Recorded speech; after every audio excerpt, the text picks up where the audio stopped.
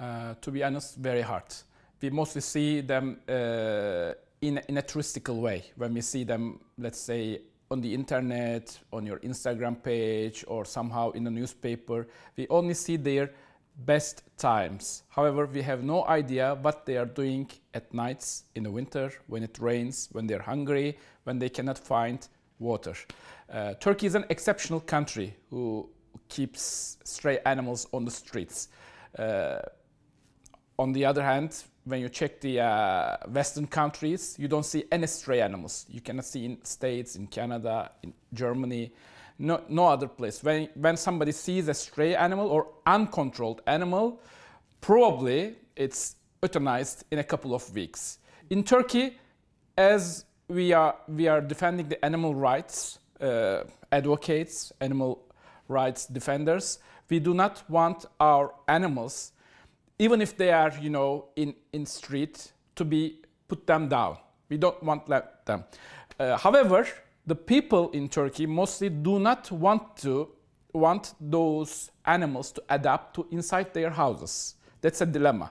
They want to keep them on the street somehow, but they don't want to adapt. Maybe it's because of their culture. Maybe it's because the city is not, you know, giving you permission to adopt them. Because if you have an animal, you have to keep it not in a single dwelling, probably in an apartment. And in the apartment, it's really hard because you have to take, especially to a dog, uh, for walking, and you don't have, you know, walking areas, parks, green areas. So it needs a lot of responsibility. So I think people tend to feed them or giving water them on the streets. However, we have to accept that uh, a stray animal cannot survive just like a domestic pet animal at home. For instance, a dog can live like 10 years, 15 years at home, but a stray animal, not more than three, four years. Probably a traffic accident or, or a person will harm it, or because of hunger, or uh, mostly the municipalities uh, take those animals and dump them to the suburb areas of the city, not only in Istanbul, but also to the other cities as well. However, we have to accept that for the recent 20 years, people are tend to uh, feed the animals or giving water them. Even the municipalities change their attitudes. Uh, they try to build shelters. Uh, they try to use billboards or media, just like Boji. And when you go when you see the 1980s or 1990s municipalities have no idea or they don't even care about any street animals. They didn't have a kind of trend or a fashion at that time. I think after 2000 we we let's say the youngsters or animal defenders become a little bit power and we used social media internet uh, we want to show our mercy. So the municipalities who have been poisoning the animals on the street, on the daylight, have changed their attitude and even they changed their uh, press conferences, their billboards pointing out that please give water to them, please keep any kind of water bottle in front of your houses, please don't, don't dump them or do not buy from pet shops. So we don't see those things in 1970s, 80s, even 90s. When we come to the after 2000, somehow maybe the new generation affected this. So people have more tendency, not only the pet animals, not only the street animals, but also let's say the carriage horses in the Princess Islands. Turkey is one of the nicest and leading country, let's say, in the world that we don't have any more carriage horses in Istanbul, neither in Istanbul, nor in Izmir, nor in Antalya, nor in Adana. We removed them. But when you see in New York Central Park today, you have still those carriages horses. So we might be an example, let's say, in the carriage horses. Also, we might also be an example on keeping the street animals on the streets. But we have to, of course, give them their comfort. The dilemma comes out from this. If we keep those animals on the streets, do they have to suffer because of our mercy or do we have to put them down in order to not to see them suffering on the streets? The, the Western culture prefers the second one. They, even the animal lover do not want to see any stray animal or uncontrolled animal on the street because when they see it, they become they, uh, they cry, they become mercy, they become passionate on it, and they can't do anything. So they want authorities to have it uh, leave from their eyes. So when they don't see it, there is no problem. However, in the kitchen part, probably that uncontrolled animal uh, is being putting down or euthanized easily. So you don't see anything on the kitchen, just like in the slaughterhouses, you don't see anything. So you don't think that there is no harm to cattle, cows, and sheep, just like that. So in Turkey, we do the just the opposite. We keep stray animals. Okay, we cannot feed them. They are suffering. Most of them cannot even find food. But uh, we don't want them to be put them down or to be killed. However, on the streets, on the autobahns, on the forests, they die somehow. So we try to find a solution for this, and the best solution is uh, stray, neuter, and to return their original place. If we can convince all the municipalities, even the ministry, to this stray, neuter, and return project, I believe that in maximum 20 years, there will be no stray animals on the streets. Not by putting them down, but just neutering. Of course, it needs financial aid, but putting down is not, you know, is not our culture. It's, we, don't, we, don't, we do not want to accept a healthy dog, a healthy cat. You cannot, you know, decide his euthanization because he wants to survive. If you can adopt it from the street, just like, for instance, my dog, we, I adopted from a shelter, she becomes like a queen at home.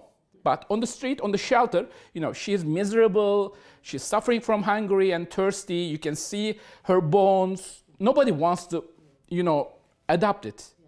So you can save it from the streets. So we emphasize to the public that please do not buy. Do not buy from internet, do not buy from pet shops. Just go and save from the streets. That's our culture.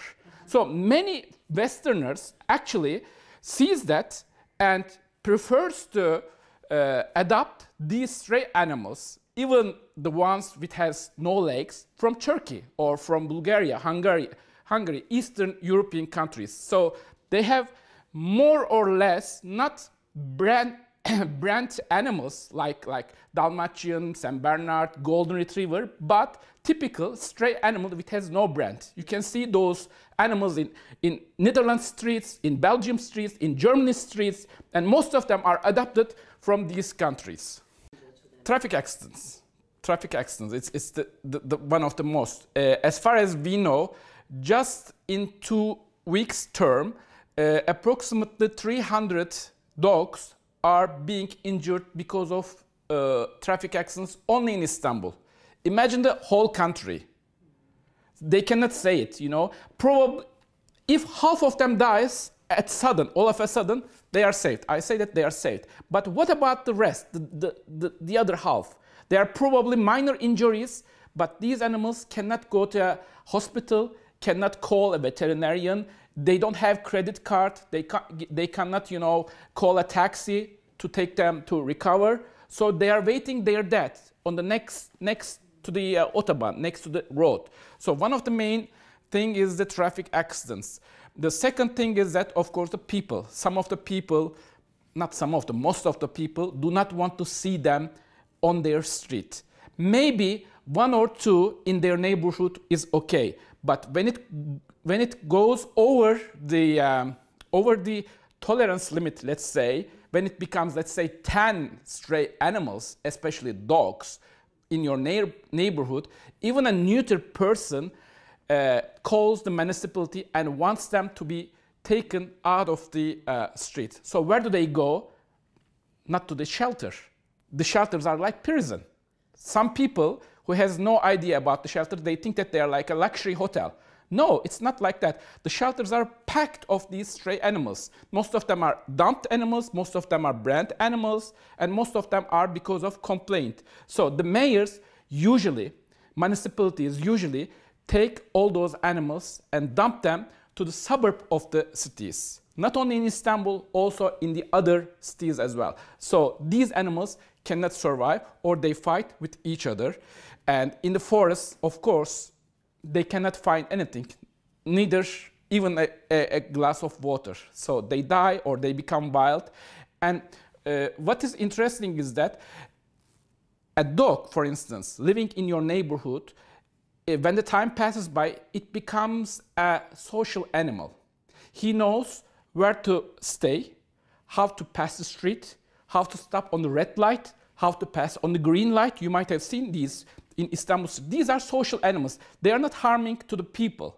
However, some of them are naughty dogs, just like people, you know. And when they are become naughty, for instance, when they bark or when they ch chase somebody, you know, the municipality comes and takes the, the social one, the innocent one, and takes it to the forest, takes it to the suburb of the city, and that social animal, which stops at the red light, which knows who to get close and who to not to close, cannot survive in that area and dies immediately. And the naughty ones, of course, just like people, he, he knows the way how to escape. He knows the way how to escape from that area. Always the innocent one, always the innocent one are kept and uh, pays the penalty. Of course, it is dangerous, even if it's in in a public transportation or even if it's walking on the street. There is no difference. But I think it's a very, very exceptional thing to keep that stray animal uh, on the eyes of uh, the people. It's at least a public awareness. It's at least a public awareness. If it hadn't been on this public transportation, probably even you wouldn't have noticed those stray animals. Even a normal person wouldn't have noticed those people. Probably that animal, that Boji, is saving his other friends by just creating this public awareness. So I'm fond of that he is on the train, he is on the metro, he is on the ferries, and he is going all around the city. And I thank to the mayor of Istanbul, uh, Mr. Ekrem İmamoğlu to keeping that uh, dog on the eye of Istanbul all the time. So this is Istanbul actually, because when we go in the historical time, when we go to the 18th, 19th century, we had stray animals on the streets, not even to, like today. For instance, in uh, 19th century, in the beginning of the 20th century, you cannot see those stray animals in Western Europe. The animals are only in the palaces, at homes.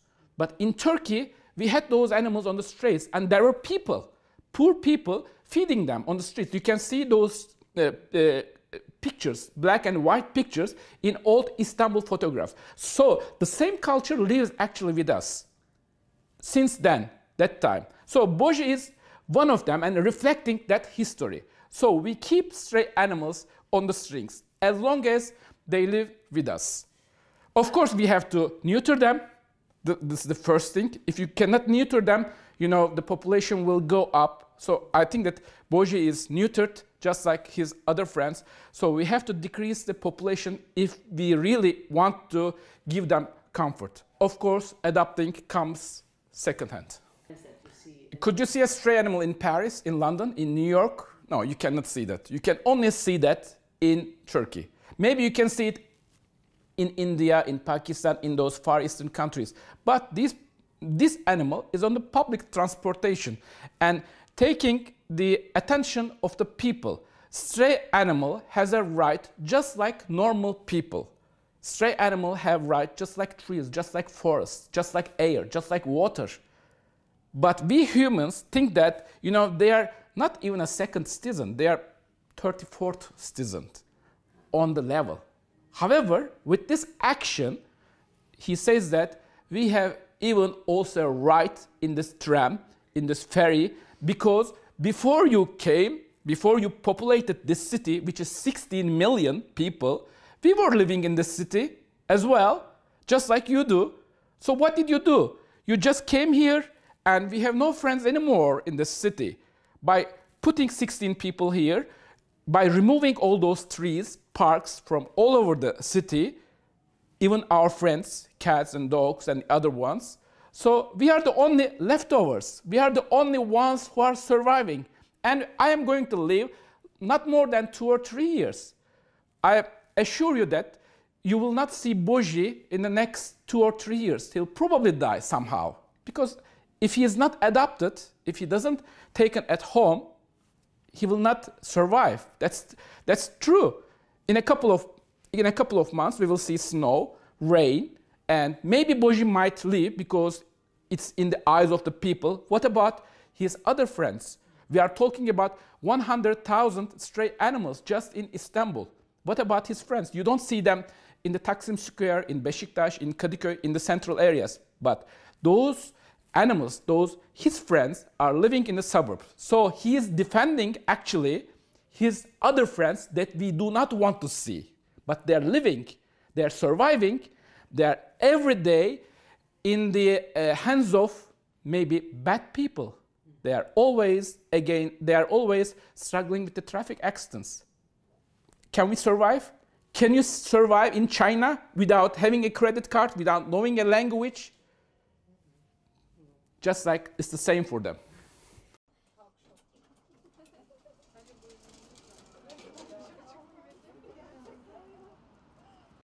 It's not only the responsibility of the municipality. People must keep him in their in front of their eyes. We have to support the municipalities this action. So it's not the only the, uh, the, the order of the municipality. As people, we have to uh, give our eyes and attention to that, but on his behalf, their, uh, his uh, other friends living in the suburbs of the city, in the shelters as well.